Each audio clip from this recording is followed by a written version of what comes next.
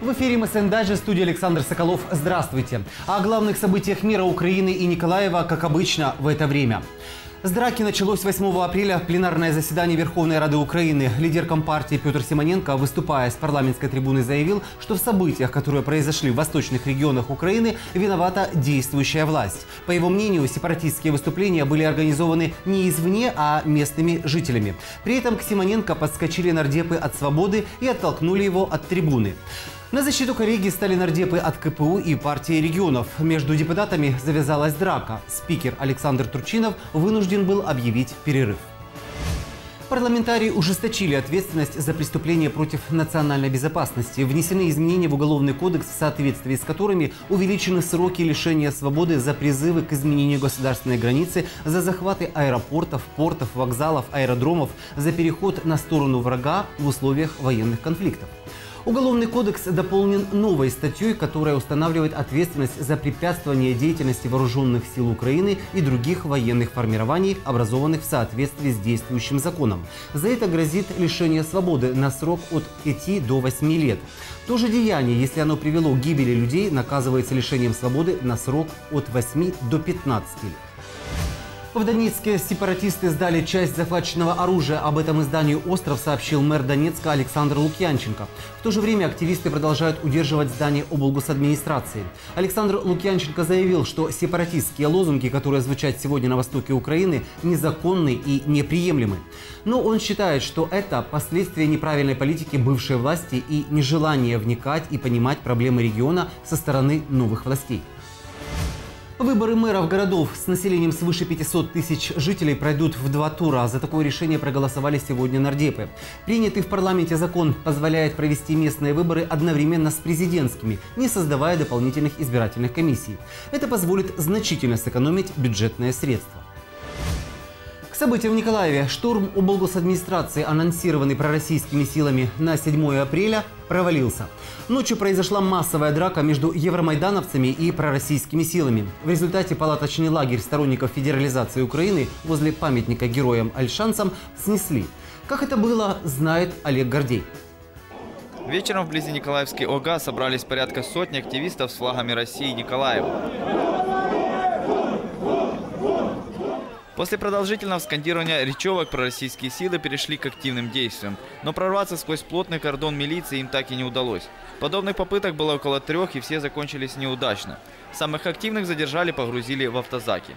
Но люди не расходились. Тем временем со стороны мэрии стали собираться представители народного ополчения Майдана и правого сектора. Их было значительно больше, около 400 человек. Со временем они переместились под постамент, где раньше стоял памятник Ленину.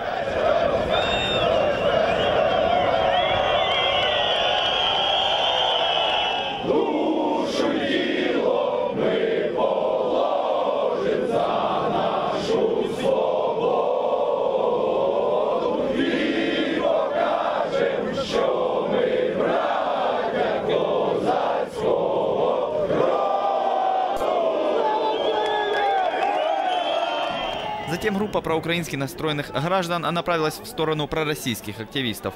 Они выдвинули ультиматум до 23.00 убрать палатки возле памятника, иначе пригрозили сделать это собственноручно.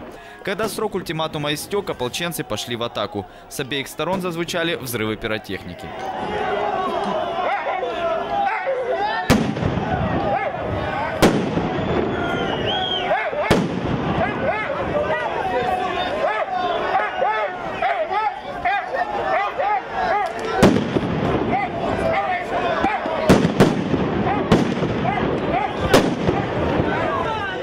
Милиция старалась рассоединить обе стороны, но этого у них не получилось.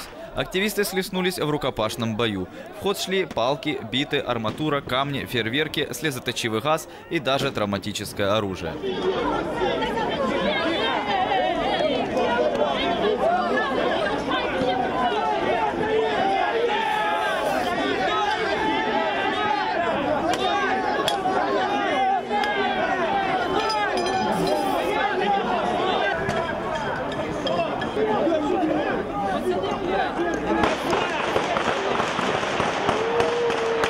В результате 30-минутного противостояния пророссийские силы были оттеснены, а палаточный городок полностью снесли ополченцы.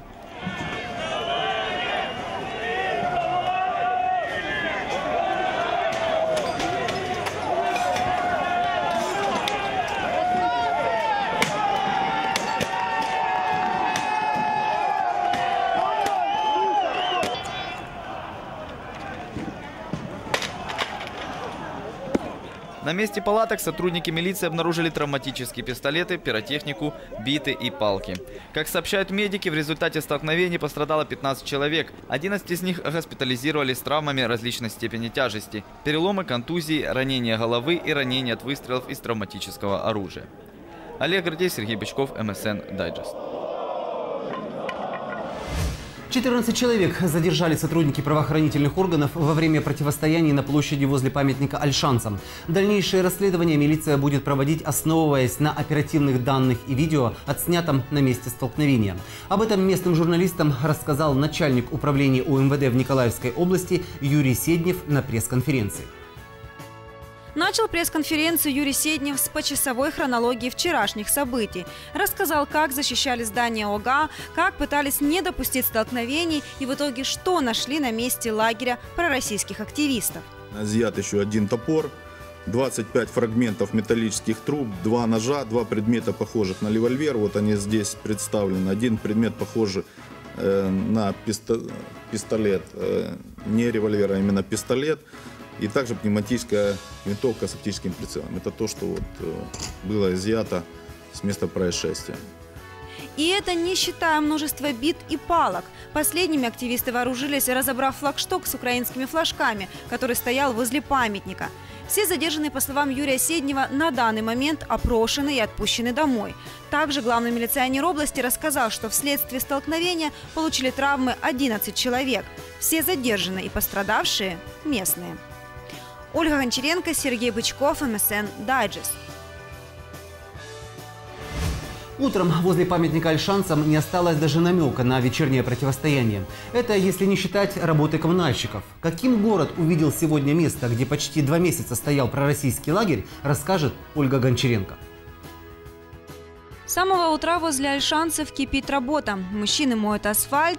От последствий бурной ночи женщины перекапывают газон, вытоптанный пророссийскими активистами. Ни палаток, ни российских флагов. Только правоохранители курсируют по парку. Одни из них изучают место происшествия, другие следят за безопасностью.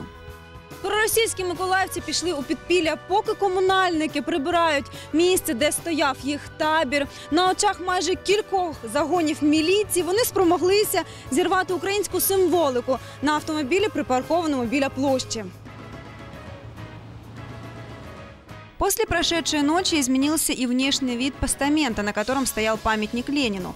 Похоже, активисты Николаевского Евромайдана решили взять пример с полтавских и херсонских коллег. Там опустевшие постаменты расписали украинскими орнаментами или написали на них стихи. Честно говоря, николаевские активисты подошли к этому вопросу менее творчески.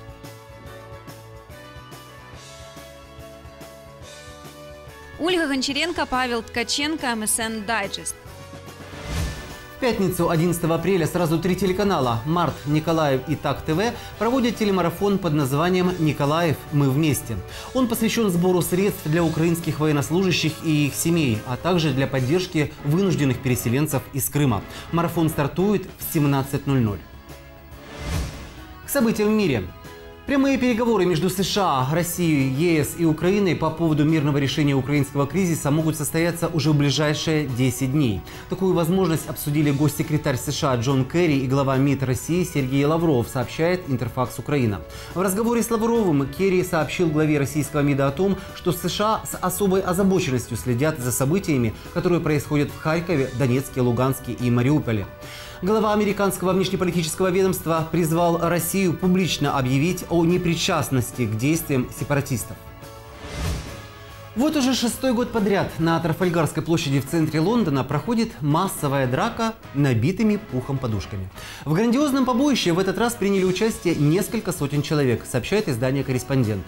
За последние шесть лет День боя подушками стал знаковым международным событием, которое помимо Лондона проводится более чем в сотне городов мира.